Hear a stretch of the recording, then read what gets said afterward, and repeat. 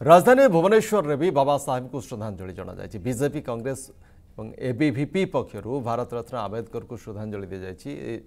AG ছকরে Ambedkar প্রতিমূর্তি পুষ্পমাল্য অর্পণ করা BJP সভাপতি সমীর মহান্তি কংগ্রেস সভাপতি ନିରଞ୍ଜନ ପଟ୍ଟନାୟକ ଓ ଅନେକ ବରିଷ୍ଠ ନେତା ଏଥିରେ ସାମିଲ ହୋଇଥିଲେ ଦଳିତ ଓ ଉପେକ୍ଷିତ ବର୍ଗର ଲୋକଙ୍କୁ ସମାଜର ମୁଖ୍ୟ ସ୍ରୋତରେ ସାମିଲ କରିବାକୁ ଆମ୍ବେଦକରଙ୍କ ଭୂମିକା ଚିରସ୍ମରଣୀୟ ବୋଲି କହିଛି କଂଗ୍ରେସ ସେପରି ବିଜେପି ସଭାପତି ସମୀର ମହାନ୍ତି କହିଛନ୍ତି ଆମ୍ବେଦକରଙ୍କ ନୀତି ଆଦର୍ଶକୁ ପାଥେୟ କରି ମୋଦି ସରକାର ସବକା ସାଥ ସବକା ବିକାଶ ନୀତିରେ କାର୍ଯ୍ୟ କରୁଛି ସେଥିରେ ମହିଳା ଓ ଏବଂ କଲେଜ କ୍ୟାମ୍ପସରେ ପଢ଼ୁଥିବା ଛାତ୍ରୀଙ୍କ ପାଇଁ ଏବିଭିପି ଆଜି ଅନେକ କାର୍ଯ୍ୟକ୍ରମ ହାତକୁ ନେଇଛି ଯେଉଁ ଦଳିତ ବଞ୍ଚିତ ନିଷ୍ପେଷିତ ଲୋକଙ୍କ ପାଇଁ ସ୍ୱର ଉଠେଇଥିଲେ ତାକୁ ଅନ୍ତ୍ୟୋଦୟର ଆଦର୍ଶ ସହିତ ସବକା ସାଥ ସବକା ବିକାଶ ସବକା ବିଶ୍ୱାସ ସବକା ପ୍ରୟାସ ଏ ମାଧ୍ୟମରେ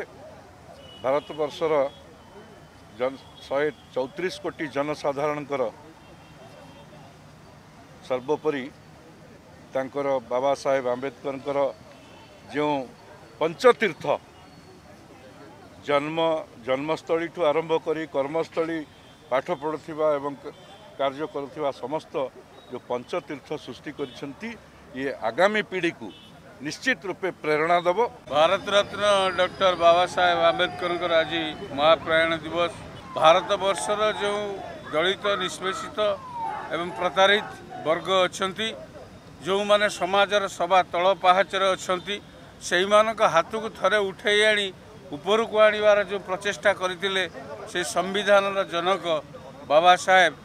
ଆଜି ଆମ ଗଣରେ ନଥାଇପାରନ୍ତି କିନ୍ତୁ ତତ୍ତ୍ୱ ତତ୍ତ୍ୱ ଆଧାରିତ ତାଙ୍କର ବିଚାରଧାରା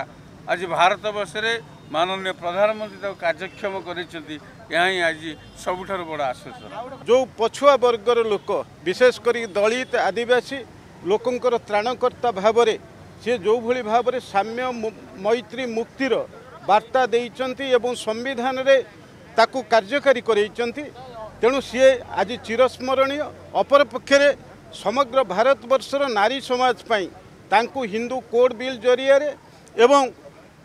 କିଭଳି ଭାବରେ ସେମାନଙ୍କର ସମ୍ପତ୍ତି ଉପରେ ଅଧିକାର ରହିବ ଛାଡ଼ପତ୍ରର ଅଧିକାର ରହିବ ତେଣୁ ନାରୀ ସମାଜର ପ୍ରଗତି ପାଇଁ ସିଏ ମଧ୍ୟ ଯେଉଁଭଳି ଭାବରେ ଆଇନ ଆଣିଥିଲେ ଆଜି ସମଗ୍ର